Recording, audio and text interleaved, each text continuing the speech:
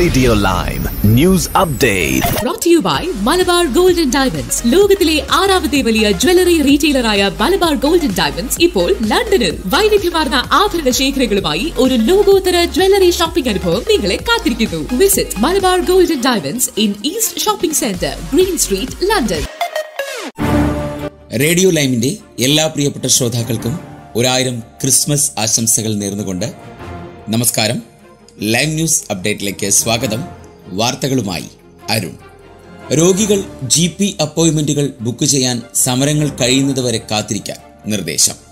Junior ഡോക്ടർമാരുടെ ആദ്യഘട്ട പണിമുടക്ക് അവസാനിക്കുമ്പോൾ എൻ എച്ച് എസിൽ സമ്മർദ്ദം രൂക്ഷമാവുന്നു. ജി പി അപ്പോയിന്റ്മെന്റുകൾ ലഭിക്കാൻ ഡോക്ടർമാരുടെ അടുത്ത ഘട്ട സമരങ്ങൾ തീരുന്നതുവരെ കാത്തിരിക്കാനാണ് സർജറികളുടെ ഉപദേശം. എന്നാൽ ജനുവരി മൂന്നിന് വീണ്ടും അടുത്ത ഘട്ട സമരത്തിന് തുടക്കമാകും. എൻ എച്ച് എസിന്റെ എഴുപത്തിയഞ്ച് വർഷത്തെ ചരിത്രത്തിലെ ഏറ്റവും ദൈർഘ്യമേറിയ സമരങ്ങൾ കനത്ത തിരിച്ചടിയാകുമെന്നാണ് ആശങ്ക. ആശുപത്രികൾ സമരങ്ങളുടെ പ്രത്യാഘാതങ്ങൾ അനുഭവിച്ചു വരികയാണ്. ഓരോ ദിവസവും ആയിരക്കണക്കിന് അപ്പോയിന്റ്മെന്റുകളാണ് റദ്ദാകുന്നത്. ട്രെയിനിങ് ഡോക്ടർമാരെ ജീവനക്കാരായി വെച്ചിട്ടുള്ള ജി പി സർജറികളും ബുദ്ധിമുട്ട് അനുഭവിക്കുന്നുണ്ട്. സമരങ്ങൾ അവസാനിക്കുന്നതുവരെ കാത്തിരിക്കാനാണ് ഫാമിലി ക്ലിനിക്കുകൾ രോഗികളോട് ആവശ്യപ്പെടുന്നത്. കുടിയേറാനുള്ള മിനിമം സാലറി പരിധി ഉയർത്തിയത് രണ്ടായിരത്തി ഇരുപത്തിയഞ്ച് വരെ നടപ്പാക്കില്ല. യു കെയിലേക്ക് കുടിയേറാനുള്ള മിനിമം സാലറി പരിധി ഉയർത്തിയ നീക്കം രണ്ടായിരത്തി ഇരുപത്തി അഞ്ച് വരെ നടപ്പാക്കില്ല. ബ്രിട്ടനിലേക്ക് കുടിയേറാൻ ചുരുങ്ങിയത് മുപ്പത്തി എണ്ണായിരത്തി എഴുന്നൂറ് പൗണ്ട് ലഭിക്കുന്ന ജോലി വേണമെന്ന നിബന്ധന ഹോം സെക്രട്ടറി ജെയിംസ് ക്ലവർലി പ്രഖ്യാപിച്ചത് വലിയ വിവാദമായിരുന്നു. നെറ്റ് മൈഗ്രേഷൻ സർവകാല റെക്കോർഡിട്ടതോടെയാണ് ഹോം ഓഫീസ് അടിയന്തര നീക്കം നടത്തിയത്. എന്നാൽ പദ്ധതി നടപ്പാക്കാൻ കാലതാമസം നേരിടുമെന്നാണ് ഇപ്പോൾ പുറത്തുവരുന്ന ആശ്വാസ വാർത്ത കുടിയേറ്റക്കാർക്ക് നിശ്ചയിച്ച മിനിമം സാലറിയായ മുപ്പത്തി എണ്ണായിരത്തി എഴുന്നൂറ് പൗണ്ടിന്റെ പദ്ധതി രണ്ടായിരത്തി ഇരുപത്തിയഞ്ചാകാതെ നടപ്പാക്കില്ലെന്നാണ് പ്രധാനമന്ത്രി ഋഷി സുനാക് സ്ഥിരീകരിച്ചിരിക്കുന്നത്. പതിനെണ്ണായിരം പൗണ്ടിൽ നിന്നും വരുമാന പരിധി ഉയർത്തിയ നടപടി മന്ത്രിമാർ രഹസ്യമായി വെള്ളം ചേർത്തുവെന്ന് റിപ്പോർട്ട് പുറത്തുവന്നതോടെ ടോറി എം പിമാർ രോഷത്തിലാണ്. പകരം ഏപ്രിൽ മാസത്തിൽ ഈ പരിധി ഇരുപത്തിയൊൻപതിനായിരം പൗണ്ടിലേക്ക് വർദ്ധിക്കുമെന്നാണ് ഹോം ഓഫീസ് നിലപാട്. രണ്ടാഴ്ച മുൻപ് മുപ്പത്തി എണ്ണായിരം പൗണ്ടിലേക്ക് ഉയർത്തിയ ശേഷമാണ് ഈ തിരിച്ചിറങ്ങൽ. ആദ്യം യു കെ പൗരന്മാരുടെ വിദേശ ബന്ധുക്കളെ കൊണ്ടുവരുന്നതിനുള്ള വിസ നിബന്ധന മുക്കിയ ശേഷമാണ് ഇപ്പോൾ കുടിയേറ്റക്കാർക്കുള്ള നിബന്ധനയിലും വെള്ളം ചേർക്കുന്നത്. നാടെങ്ങു നിന്നും സ്വാമിമാർ ചൊവ്വാഴ്ച ബാലാജി സന്നിധിയിലേക്ക്. അയ്യപ്പ ക്ഷേത്രത്തിലേക്ക് മണ്ഡലപൂജയ്ക്ക് ഇക്കുറിയും പള്ളിക്കെട്ട് പാടി അയ്യപ്പ പുണ്യം നേടിയ വീരമണി കുടുംബത്തിലെ ഇളമറ സ്വാമിയുടെ ഗാനപൂജ. മണ്ഡലപൂജ രാവിലെ മുതൽ ഗാനാഞ്ജലി വൈകുന്നേരം. വൃശ്ചികത്തിൽ നിന്നും ധനുമാസത്തിലെത്തിയ മണ്ഡലകാലത്തിന് സമാപ്തി സൂചിപ്പിച്ച് നാടങ്ങു നിന്നും സ്വാമിമാർ ശരണം വിളികളോടെ യു കെയിലെ പ്രധാന അയ്യപ്പ ക്ഷേത്രങ്ങളിലേക്ക്. കഴിഞ്ഞ വർഷവും അയ്യപ്പ ചൈതന്യം ലോകമെങ്ങും പടർത്തുന്നതിൽ അതുല്യ പങ്കുവഹിച്ച പള്ളിക്കെട്ട് ശബരിമലയ്ക്ക് എന്ന ഗാനത്തിലൂടെ ലോകമെങ്ങും പ്രശസ്തമായ വീരമണി കുടുംബത്തിലെ അംഗങ്ങൾ യു കെയിലേക്ക് എത്തുന്നത് സ്വാമി ഹൃദയങ്ങൾക്ക് മനസ്സ് തുറന്ന് അയ്യപ്പ ചൈതന്യത്തിലേക്ക് അടുത്തെത്താനുള്ള അവസരം കൂടി സൃഷ്ടിച്ചാണ്. കഴിഞ്ഞ വർഷം വീരമണി രാജു മണ്ഡലപൂജ സമാപന ചടങ്ങുകളിൽ അയ്യപ്പ ഗാനങ്ങളുമായി നിറചൈതന്യം പടർത്തി ഒട്ടേറെ ക്ഷേത്രങ്ങളിലെത്തിയപ്പോൾ ഇത്തവണ ആ പതിവ് ഏറ്റെടുക്കുന്നത് അതേ കുടുംബത്തിലെ ഇളമുറ ഗായകരിൽ ഒരാളായ വീരമണി കണ്ണനാണ്. പ്രധാനമായും മണ്ഡലപൂജ സമാപനത്തോട് അനുബന്ധിച്ച് യു കെയിലെ പ്രശസ്ത ക്ഷേത്രങ്ങളായ London Murugan temple Birmingham Balaji ക്ഷേത്രം വാതസ്റ്റോ വിനായക ക്ഷേത്രം ഹരോ അയ്യപ്പ ക്ഷേത്രം വെസ്റ്റ് ഹേർഡൻ ഹനുമാൻ ക്ഷേത്രം എന്നിവിടങ്ങളിലാണ് കണ്ണൻ അയ്യപ്പ ഗാനപൂജയ്ക്ക് എത്തുന്നത്. കഴിഞ്ഞ പത്ത് വർഷത്തിലേറെയായി യു കെയിൽ നടക്കുന്ന അയ്യപ്പ പൂജകൾ പ്രധാന ക്ഷേത്രങ്ങളിൽ എല്ലാം ഇപ്പോൾ ആയിരക്കണക്കിന് സ്വാമി ഭക്തരെയാണ് ആകർഷിക്കുന്നത്. ശബരിമലയിൽ നടക്കുന്ന ദേവിഷേകം അടക്കമുള്ള ചടങ്ങുകളാണ് മിക്ക ക്ഷേത്രങ്ങളിലേക്കും ഭക്തരെ ആകർഷിക്കുന്നത്. അതിനൊപ്പം ബാലാജി അടക്കമുള്ള ക്ഷേത്രങ്ങളിൽ സാങ്കല്പിക ശബരിമല യാത്രയുമുണ്ട്. യു കെയിലേക്ക് വിസ വാഗ്ദാനം ചെയ്ത കോടികൾ തട്ടിയ ദമ്പതികൾ കേരളത്തിൽ പിടിയിൽ. പ്രതികൾ ആളുകളെ കെണിയിലാക്കിയത് ഡിജിറ്റൽ മാർക്കറ്റിംഗ് വെബ്സൈറ്റ് വഴി. യു കെ ഉൾപ്പെടെയുള്ള വിദേശ രാജ്യങ്ങളിലേക്ക് തൊഴിൽ വാഗ്ദാനം ചെയ്ത് പണം തട്ടിയെടുത്ത ദമ്പതികളെ കേരളത്തിൽ പോലീസ് അറസ്റ്റ് ചെയ്തു. കൊല്ലം ഈസ്റ്റ് കല്ലട മണിവീണയിൽ ചിഞ്ചു എസ്റ്റാജ് കൊടുങ്ങല്ലൂർ ശൃംഗപുരം വാക്കേക്കാട്ടിൽ അനീഷ് എന്നിവരെയാണ് എറണാകുളം നോർത്ത് പോലീസ് അറസ്റ്റ് ചെയ്തത്. യു കെ കൂടാതെ സിംഗപ്പൂർ ഓസ്ട്രേലിയ എന്നീ രാജ്യങ്ങളിലേക്കുള്ള തൊഴിൽ വിസകൾ കയ്യിലുണ്ടെന്ന് കാട്ടി വെബ്സൈറ്റ് വഴി പരസ്യം ചെയ്താണ് പ്രതികൾ തട്ടിപ്പ് വ്യാപകമായി നടത്തിയത്. എറണാകുളം കലൂരിൽ ടാലന്റ് ഡിവിസ് എച്ച് ആർ കൺസൾട്ടൻസി എന്ന സ്ഥാപനം നടത്തിവരികയായിരുന്നു പ്രതികൾ. പലരിൽ നിന്നുമായി ഒന്നേ പോയിന്റ് ഒൻപത് കോടി രൂപയാണ് പ്രതികൾ കബളിപ്പിച്ചെടുത്തതെന്ന് പുറത്തുവരുന്ന വിവരങ്ങൾ സൂചിപ്പിക്കുന്നു. പണവുമായി രാജ്യം വിടാൻ ഒരുങ്ങുമ്പോഴാണ് ഇവർ പിടിയിലായത്. ഉദ്യോഗാർത്ഥികളുടെ പാസ്പോർട്ട് ഉൾപ്പെടെയുള്ള രേഖകളും നിരവധി വ്യാജ സീലുകളും ഇവരിൽ നിന്ന് പോലീസ് പിടിച്ചെടുത്തു. ഇനി നാട്ടിലെ വാർത്തകൾ. നവകേരള ബസ് ആദ്യം പ്രദർശനത്തിന് പിന്നെ വാടകയ്ക്ക്.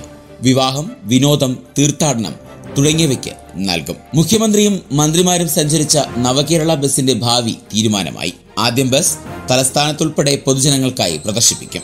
പിന്നീട് വാടകയ്ക്ക് നൽകും. വിവാഹം വിനോദം തീർത്ഥാടനം തുടങ്ങിയ ആവശ്യങ്ങൾക്ക് നവകേരള ബസ് വാടകയ്ക്ക് ലഭിക്കും. കെ എസ് ആർ ടി സിയുടെ പേരിലാണ് ബസ് വാങ്ങിയിട്ടുള്ളത്. കെ എസ് ആർ ടി സിക്കാകും പരിപാലന ചുമതല. വാടക തീരുമാനിച്ചിട്ടില്ലെങ്കിലും സ്വകാര്യ ആഡംബര ടൂറിസ്റ്റ് ബസ്സുകളേക്കാൾ കുറവായിരിക്കും. ദിവസം എണ്ണായിരം രൂപ വരെ ഈടാക്കാമെന്ന് ചർച്ച വന്നിട്ടുണ്ട്. നവകേരള സദസ്സിന്റെ എറണാകുളത്തെ പര്യടനം കൂടി പൂർത്തിയായ ശേഷമാകും bus K S R T സിക്ക് വിട്ടുകൊടുക്കുക. ഇതിനുശേഷം പുതിയ മന്ത്രി കാര്യങ്ങൾ വിശദീകരിക്കും. കെ എസ് ആർ ടി സിയുടെ ബഡ്ജറ്റ് ടൂറിസം വിഭാഗത്തിന് ബസ് കൈമാറാനാണ് സാധ്യത.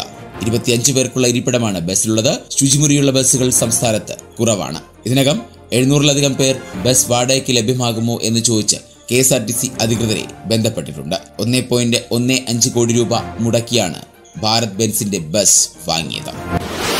വിനോദസഞ്ചാരികളെ വരവേൽക്കാൻ ഒരുങ്ങി തിരുവനന്തപുരം ജില്ലയിലെ ആദ്യത്തെ ഫ്ലോട്ടിംഗ് ബ്രിഡ്ജ്. തീരദേശ ജില്ലകളിൽ ഫ്ലോട്ടിംഗ് ബ്രിഡ്ജ് സ്ഥാപിക്കുന്ന ടൂറിസം വകുപ്പിന്റെ പദ്ധതിയുടെ ഭാഗമായി തിരുവനന്തപുരം ജില്ലയിലെ ആദ്യത്തെ ഫ്ലോട്ടിംഗ് ബ്രിഡ്ജ് നാളെ വർക്കല പാപനാശം ബീച്ചിൽ തുറക്കും. രാവിലെ പത്തിന് ഫ്ലോട്ടിംഗ് ബ്രിഡ്ജിന്റെയും ബീച്ചിലെ ജല കായിക പ്രവർത്തനങ്ങളുടെയും ഉദ്ഘാടനം ടൂറിസം മന്ത്രി പി എ മുഹമ്മദ് റിയാസ് നിർവഹിക്കും. V Joy M L A അധ്യക്ഷത വഹിക്കും. സംസ്ഥാനത്തെ ഏഴാമത്തെ ഫ്ലോട്ടിംഗ് ബ്രിഡ്ജാണിത്. കടലിന് മുകളിൽ പൊങ്ങിക്കിടക്കുന്ന പാലത്തിലൂടെ തിരമാലകളുടെ ചലനത്തിനൊപ്പം സഞ്ചരിക്കാനാകുമെന്നതാണ് ഫ്ലോട്ടിംഗ് ബ്രിഡ്ജിന്റെ സവിശേഷത. നൂറ് മീറ്റർ നീളവും മൂന്ന് മീറ്റർ വീതിയുമുള്ള പാലത്തിന് ഇരുവശങ്ങളിലും തൂണുകളുമുണ്ട്. പാലം അവസാനിക്കുന്നിടത്ത് പതിനൊന്ന് മീറ്റർ നീളവും ഏഴ് മീറ്റർ വീതിയുമുള്ള ഒരു പ്ലാറ്റ്ഫോം ഉണ്ട് ഇവിടെ നിന്ന് സന്ദർശകർക്ക് കടൽ കാഴ്ചകൾ ആസ്വദിക്കാം. ഒരേ സമയം നൂറ് സന്ദർശകർക്ക് ബ്രിഡ്ജിൽ പ്രവേശിക്കാം. രാവിലെ പതിനൊന്ന് മുതൽ വൈകുന്നേരം അഞ്ച് വരെയാണ് പ്രവേശനം. മാനവീയം വീതിയിൽ വീണ്ടും സംഘർഷം. ക്രിസ്തുമസ് ആഘോഷിക്കാനെത്തിയ യുവാക്കൾ പോലീസുമായി ഏറ്റുമുട്ടി. തിരുവനന്തപുരം മാനവീയം വീതിയിൽ വീണ്ടും സംഘർഷം. ക്രിസ്മസ് ആഘോഷിക്കാനെത്തിയ യുവാക്കളും പോലീസും തമ്മിലാണ് സംഘർഷമുണ്ടായത്. സംഘർഷത്തിൽ എ എസ് ഐ അടക്കമുള്ള പോലീസുകാർക്ക് പരിക്കേറ്റു. സംഭവവുമായി ബന്ധപ്പെട്ട നാലു പേരെ മ്യൂസിയം പോലീസ് കസ്റ്റഡിയിലെടുത്തു. നൈറ്റ് ലൈഫ് ആരംഭിച്ചതു മുതൽ മാനവീയം വീതിയിൽ കൂട്ടത്തല്ലായിരുന്നു. പ്രത്യേകിച്ച് കാര്യമൊന്നുമില്ലാതെ നിസ്സാര കാര്യങ്ങൾക്ക് ലഹരിയുടെ പിടിയിൽ പരസ്പരം ഏറ്റുമുട്ടുകയായിരുന്നു പലരും. ഇത് തലവേദനയായതോടെ പോലീസ് നിയന്ത്രണങ്ങളും നിരീക്ഷണവും ശക്തമാക്കിയിരുന്നു. മൈക്ക് ഉപയോഗം പത്ത് മണിയാക്കുകയും റോഡിന് രണ്ടു വശത്തും ബാരിക്കേഡ് വെച്ച് നിയന്ത്രിക്കുകയും ചെയ്തിരുന്നു. പതിനൊന്നിനു ശേഷം എല്ലാവരെയും ഒഴിപ്പിക്കാനും തീരുമാനിച്ചിരുന്നു. എന്നാൽ മാനവീയത്തിലെ കലാകാരന്മാരുടെ കൂട്ടായ്മ നഗരസഭയ്ക്കും സി പി എം ജില്ലാ സെക്രട്ടറിക്കും പരാതി നൽകി. ഈ പരാതി പരിഗണിച്ച് മേയർ കഴിഞ്ഞ ദിവസം നിയന്ത്രണങ്ങളിൽ ഇളവ് അനുവദിച്ചിരുന്നു. മൈക്ക് ഉപയോഗം പതിനൊന്ന് വരെയാക്കി പതിനൊന്നിനു ശേഷം പുലർച്ചെ അഞ്ച് വരെ മൈക്കില്ലാതെ കലാപരിപാടി വയ്ക്കാനും അനുവദിച്ചിരുന്നു. എന്നാൽ ഇളവുകൾ വഴി നൈറ്റ് ലൈഫിൽ വീണ്ടും സംഘർഷമുണ്ടാകുമോ എന്ന ആശങ്കയിലായിരുന്നു പോലീസ്. ശബരിമലയിൽ വൻ തിരക്ക് തീർത്ഥാടകരുടെ നില നീലിമല വരെ നീണ്ടു. ശബരിമലയിൽ തീർത്ഥാടകരുടെ വൻ തിരക്ക് ക്യൂ നീലിമല വരെ നീണ്ടു. പമ്പയിൽ നിന്ന് മണിക്കൂറുകൾ ഇടവിട്ടാണ് തീർത്ഥാടകരെ കയറ്റിവിടുന്നത്. നിലയ്ക്കൽ ഉൾപ്പെടെയുള്ള ഇടത്താവളങ്ങളിൽ തീർത്ഥാടകരുടെ വാഹനങ്ങൾക്ക് നിയന്ത്രണം ഏർപ്പെടുത്തിയിട്ടുണ്ട്. എരുമേലി ഉൾപ്പെടെയുള്ള ഇടത്താവളങ്ങളിൽ ഭക്തരെ വലിയ രീതിയിൽ തടഞ്ഞതാണ് തിരക്കിന് ഇടയാക്കിയത്.